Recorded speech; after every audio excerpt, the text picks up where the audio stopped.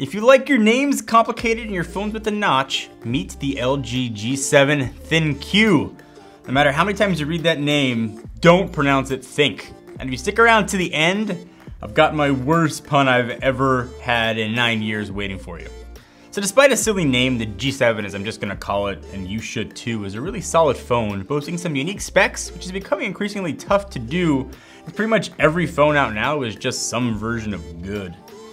I know on paper, a lot of people are gonna be upset that the 6.1 inch QHD Plus full vision display is LCD and not OLED. I even did my own eye roll when I heard LCD, but once I actually had a chance to use it, it didn't matter. Simply the screen looks amazing regardless of the tech. Colors look incredibly vibrant, blacks were, were black. And the screen, despite its technology, reminded me of the Samsung displays on how they often don't look real. They look like a sticker instead of a screen. It's the same here with the G7, which is about as big a compliment as I can possibly give a display.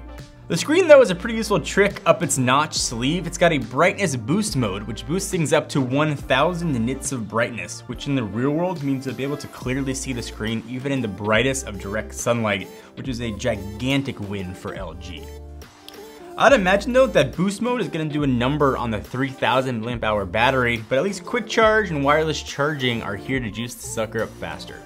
So the G line sits below the V in LG's lineup, and I get that, but the spec list seems to be kind of like a grab bag of 2018 and 2017 tech.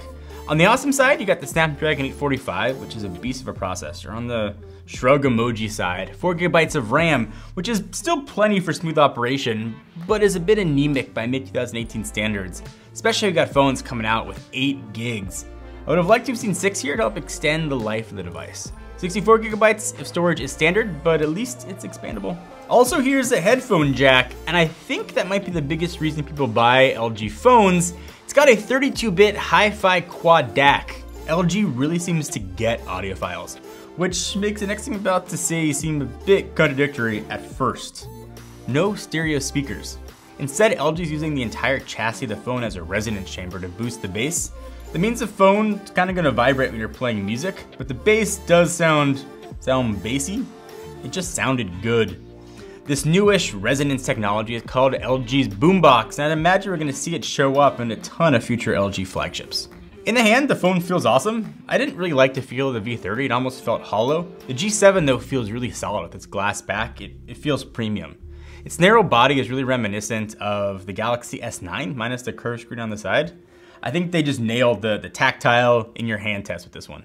There is a dedicated assistant button, which mercifully is tied to Google Assistant, and I give LG a ton of credit for not making their own assistant and then just cramming it down our throats. I asked them if it was remappable and they said nope, but they could open it up in the future, so there's that non-committal answer for you. Speaking of design, it, it's got a notch. It doesn't have any sort of advanced facial unlocking hardware, so I'm not sure why the notch is there, but hey, at least it fits in with what seems to be 2018 flagship design standards. And speaking of that notch, it can actually be hidden via software. I was kind of worried at first since the screen isn't OLED, but it hides the notch pretty well. LG is also utilizing software that you customize the notch area different backgrounds, so that's, that's a thing you can do now. LG's done a really nice job with their cameras here. The dual sensors on the back are both 16 megapixels, one at the 107 degree field of view and one at 71 degrees, making the G7 all about that wide angle.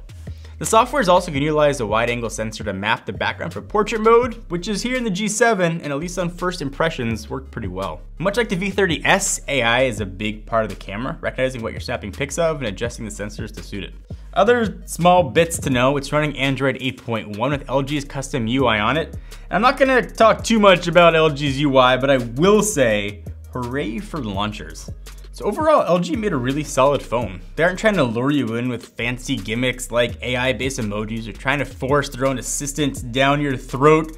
Instead, they're giving consumers a well-rounded phone that's good at almost everything at a price point below the V30. So while the G7 might not be for anyone in particular, it's a device that's built for everyone. Thank you for watching. Sorry.